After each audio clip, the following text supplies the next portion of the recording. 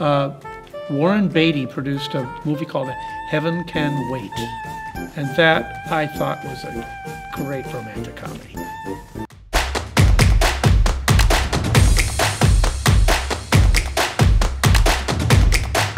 I had a terrible thing for Suzanne Pleshette.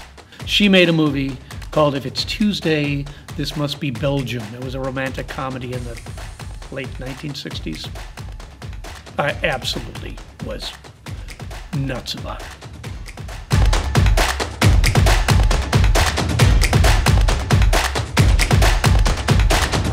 My daughter, who is a 90s kid, was crazy about Friends.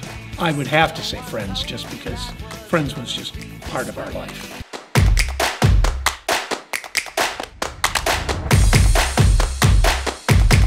When my girlfriend, a girl I just started going out with, when she got sick, quite sick, and was hospitalized, had to break our first date. Um, I got in my 1978 Toyota Corona wagon, I think, um, that was on it, definitely on its last legs, and um, I drove up to the hospital, blew a rod on the way to the hospital, but made it to the hospital. Um, gave her bubble gum and something else at her bedside, and uh, she was impressed.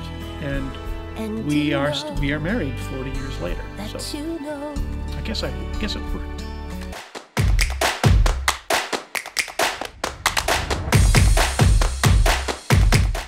I can. Oh, can I do the Macarena? Well, again, you know, I did it. Uh, you know, I, I went to wedding. I was I went to weddings in the '90s, so I learned uh, at parties. But I, of course, I would have to go through a tutorial now to relearn it. Yeah, it's not it's not in my body.